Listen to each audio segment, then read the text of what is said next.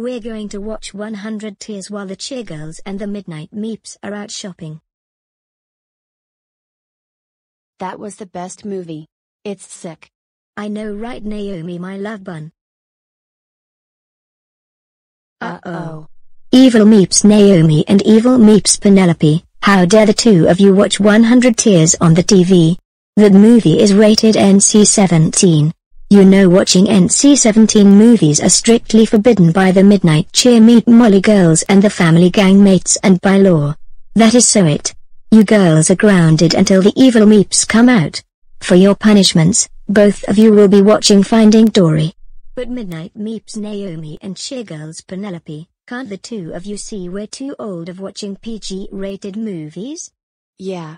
And besides, we like R-rated movies and NC-17 rated movies because they are much better than those stupid G-rated movies and PG-rated movies.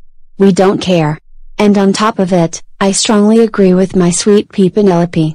Now, get your evil schemes upstairs to your rooms right now, on the double.